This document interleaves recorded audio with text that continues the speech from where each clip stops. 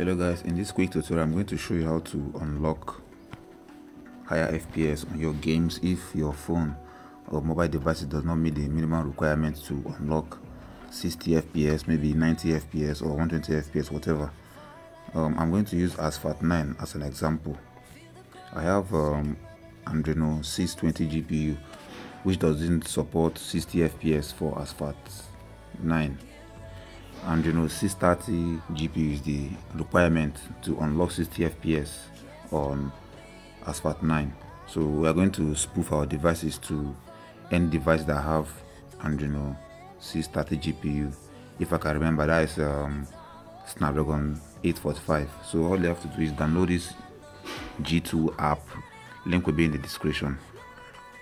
Of course you need root to use this app when you open the app for the first time you have to grant the permissions.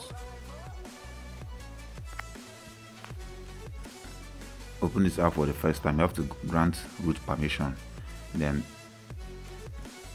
click on add game. Select the game you want to spoof.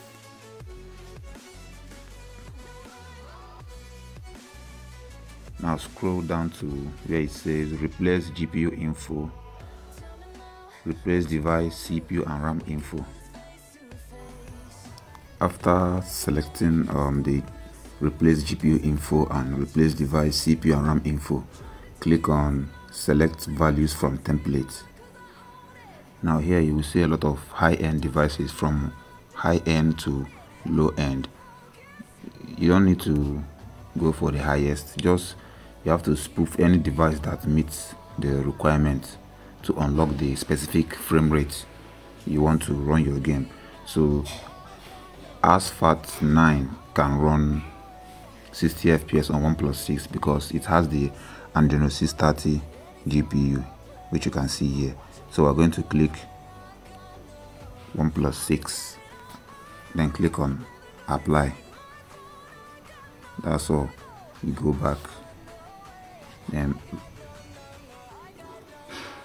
launch your game. You don't need the app anymore. You can open your game from the shortcuts and you will see that you have the option to play on 60 fps this also applies to call of duty mobile pubg any game that any android game at all you can use this application to spoof your devices. Okay here's something i want you guys to know. Some games might not show you the option for 60 fps but they are but they are already on 60 fps like on asphalt 8 asphalt 9 sorry. You won't see the option for 60 fps some games not all but the frame rate is already on 60 fps you can see my fps counter here is saying 60 so i'm going to show you some gameplay shortly